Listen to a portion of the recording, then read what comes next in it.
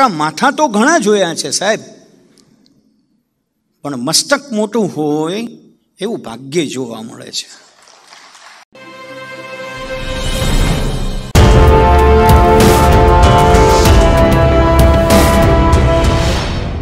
તમે યાદ રાખો, મુક્તિ બે પ્રકારની હોય. કોઈનાથી મુક્તિ અને કોઈના માટે મુક્તિ.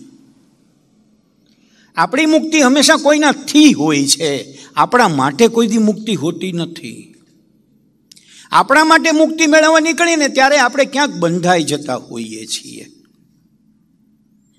ત્યારે આપણે ક્યાંક બંધાઈ જઈએ તો આપણે એમ થાય હવે આપણે આપણામાંથી નીકળ્યા. પણ ના, તારામાંથી નીકળ્યો ને બીજામાં ગયો. મને આ વિક્રમભાઈ આ પહેરાવતા હતા ત્યારે મેં પૂછ્યું કે નહીં આવે હો? પણ મારા માથા વિશેનું માપ વિક્રમભાઈને વધુ પરફેક્ટ ખ્યાલ હતો. એ કે આવી જશે. પણ મને બહુ ડાઉટ હતો, એટલે પછી મેં નક્કી કર્યું કે આપણે બહાર ગાડીમાં બેઠા પહેલા કાઢવાનો પ્રયાસ કરવો નહીં. એનું એક કારણ છે કે મોટા માથા તો ઘણા જોયા છે સાહેબ. પણ મસ્તક મોટું હોય એવું ભાગ્ય જોવા મળે છે. અને એ શિક્ષકનું મસ્તક હોય છે સાહેબ. તમને ખ્યાલ છે શિક્ષણના ત્રણ આયામ છે. જ્ઞાનાત્મક, ભાવાત્મક અને બોલો કયું? સુકાઈ ગયું પીટીસી? અરે રે. તમે ન બોલી શકો એનું કારણ એ છે કે તમારી સ્કૂલોમાં અત્યારના એ પાછું ગુમ છે. શિક્ષણના ત્રણ પાયાઓ છે. ત્રણ પાયા માટે મારે તમારે જીવવાનું છે. આપણે પહેલા પાસા ઉપર એટલા બધા જામી ગયા છીએ કે નાનાત્મક પાસા ઉપર કે બધું જ છોકરાનું આપણું હાલે તો મસ્તિષ્ક ખોલી, ઉપરથી મગજની ડાકલી ખોલીને અંદર આપણે રોજ પાનાના પાના ઠાંસી મારીએ એવા આપણે છીએ. ટાગોરનું એક સુંદર મજાનું સર્જન છે. એમાં સુંદર મજાના ગાતા પક્ષીને કોઈ ભણાવવા નીકળે એવી વાત છે. એ વાતની વિગતમાં મારે નથી જવું. દીપકભાઈ એના વિશે વધુ સારી વાત કરી શકે. એવી રીતે આપણે લોકો માત્ર ઉપરની ડાકલી ખોલીને અંદર પાના ભરીએ છીએ સાહેબ. મને ચંદ્રકાંતભાઈ કીધું કે આજે એ લોકોને ઇંગ્લિશની ટેસ્ટ છે. ત્યારે મારાથી સહજ રીતે હળવાશમાં પૂછાઈ ગયું, કોની, વિદ્યાર્થીઓની કે શિક્ષકોની? તો કે, ના ના, વિદ્યાર્થીઓની. મેં કીધું ત્યાં બચી ગયા. એનું કારણ ખાલી કેટલા વિષયોની સાહેબ આપણી ટેસ્ટ લે ને તો આપણે ફૂલ્લી નાપાસ થઈએ એવા છીએ. તમે કોઈ હા ન પાડતા હો ભૂલથી. પણ આપણી હાલત આ છે. કેરળની અંદર પ્રયોગ કરવામાં આવ્યો. સીબીએસઈનું, બોર્ડનું, સાયન્સ અને મેથ્સનું પેપર. ત્યાંની બે બે એડવાન્સ સ્કૂલોએ એના ટીચર્સને લખવા આપ્યું. કે તમે લખો. You will be surprise to note એંસી ટકા શિક્ષકો નાપાસ થયા. ગણિત અને વિજ્ઞાનના બે પેપરમાં. જોકે એ સ્કૂલનું, ગણિત અને વિજ્ઞાનનું બારમાનું પરિણામ સારું આવ્યું, હો. એનો અર્થ શું થયો? તમે ઉમેરો કે ન ઉમેરો, સામે જ હાળી એટલી ક્ષમતા પડી છે કે એના આધારે પરિણામો આવે છે, સાહેબ. આ વાત તમને જલ્દી નહીં સમજાય. કારણ કે આપણને ન ગમે એવી હું વાત કરું છું. હું હમણાં જ ભાઈશ્રી સાથે બેઠો તો ત્યારે મને એવો વિચાર આવ્યો, એટલે મેં શેર કર્યો. કેટલાક સ્થળ એવા હોય સાહેબ કે તમને અચાનક વિચાર આવવા માંડે. અને કેટલાક સરકારી સ્થળ એવા હોય કે એ વિચાર બધા બંધ ડાબલીમાં બેસી જાય. એવા પ્રોટોકોલની જેમ માણસો આવીને સટ સટ સટ સટ એન્ટ્રી મારે કે આપણી બધી વિચાર શક્તિ કુંઠિત થઈ જાય.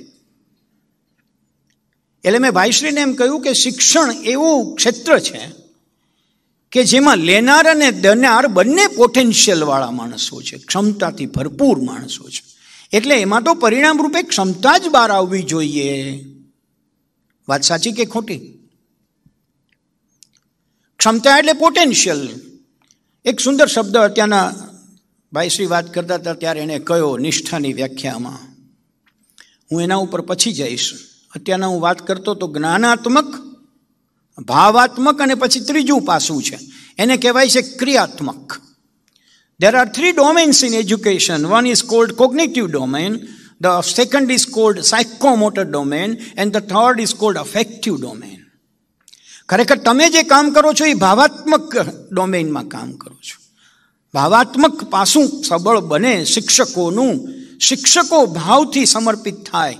કાલે આમાંથી કેટલા આઠસોમાંથી એસી શિક્ષકને તો એવું થશે કે મારે ત્યાં સમારંભ થાય ત્યારે આટલો જ વ્યવસ્થિત સુઘડ, સ્વચ્છ વાતાવરણમાં થાય એવો હું પ્રયાસ કરું. આટલો જ નાનકડો સંદેશો લઈને તમે આજે જાઓ તો હું માનું છું કે આજની આ નિષ્ઠા વૃદ્ધિ શિબિર સફળ થઈ ગણાય. ભાવાત્મકતામાં ઉમેરો. ત્રીજું પાસું છે એ ક્રિયાત્મકતા છે. મારે તમારી સાથે બહુ શાસ્ત્રોક્ત વાત નથી કરવાની, એ મેં યાદ રાખ્યું છે. કારણ કે એ બધી બહુ થતી હોય છે. તમારી બીજી બધી શિબિરો બહુ થયા કરે છે. એક ઓલું કર્મયોગીવાળું આવ્યું ને ત્યારથી એટલું બધું હાલ્યું કે શિબિરો ઉપર શિબિરો થતી હોય છે. વર્કશોપ ઉપર વર્કશોપ થતા હોય છે સરકારના. આઈ એમ વેરી હેપી કે આ તમે સરકારી શાળાના શિક્ષકો આટલા બધા શાંતિથી બેસો અને તમને કોઈ આદરપૂર્વક બોલાવે. આશ્રમ શબ્દ બહુ સાચો છે. અહીંયા જે લખ્યો છે આશ્રમ શબ્દ, આશ્રમ એ જ છે કે જ્યાં જાઓ તો તમને આશ્રય લેવાનું મન થાય તે આશ્રમ છે. હું આજે અહીંયા આવ્યો, અગાઉ પણ આવ્યો છું. તમારી સ્કૂલો સુધી હું આવી ગયો છું. ચંદ્રકાંતભાઈ મને લઈ આવ્યા હતા.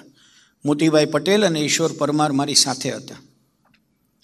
પણ આજે અહીંયા આવ્યો તો મને એવો આનંદ થયો એ વાતનો કે અહીંયા ફરીવાર આવવાનું ગમે એવું વાતાવરણ છે. કેમ ગમે? કારણ કે મને આજે આનંદ આવ્યો. આજે કેમ આનંદ આવ્યો? સામે હસતા ચહેરા મળ્યા. સામે હસતા ચહેરા કેમ છે? કારણ કે એને ખાતરી છે કે અહીંયા કંઈક સારું છે. હવે આ જેટલું હું બોલ્યો, એટલું આપણે વિદ્યાર્થીઓને કરી બતાવવાનું છે. That is our responsibility not only cognitive but also psychomotor and affective domain ભાવાત્મકતા કેમ આવે ભાવાત્મકતા?